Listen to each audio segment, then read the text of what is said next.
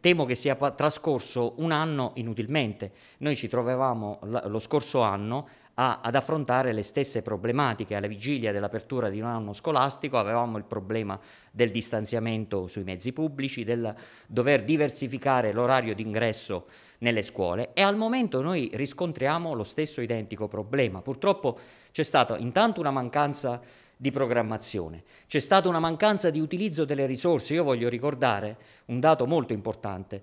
I, i, i governi che si sono succeduti nel, durante la fase pandemica hanno stanziato oltre un miliardo di euro per garantire i servizi aggiuntivi. Ebbene, rispetto a questa, a questa imponente cifra, eh, le regioni hanno utilizzato appena il 20% di, di queste risorse. Quindi e adesso, eh, ovviamente, alla vigilia del, de, dell'apertura della scuola, anche garantire potendo garantire l'80% di riempimento dei pullman, è chiaro che se non si interviene ancora oggi aumentando i servizi e diversificando l'orario di ingresso delle scuole, noi ci ritroveremo ad avere gli stessi problemi che abbiamo avuto lo scorso anno.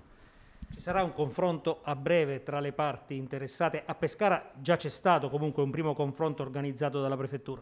Guardi, a livello nazionale c'è sicuramente un confronto, ieri c'è stato un confronto tra il ministro Giovannini, la ministra Gelmini e, e mh, i presidenti delle, delle, regioni. È atteso un nuovo, un nuovo vertice all'inizio di settembre.